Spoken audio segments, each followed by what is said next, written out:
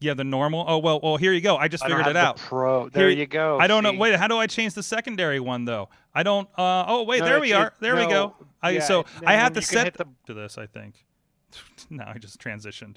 Now I can do the uh, the Star Wars wipe transitions. So that's kind of fun.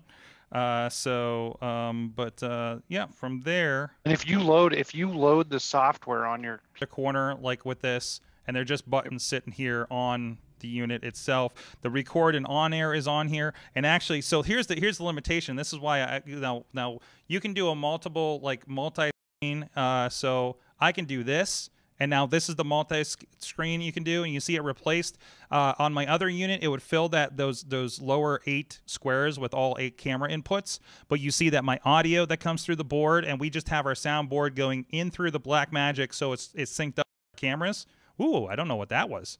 Uh, some something doesn't like a resolution over there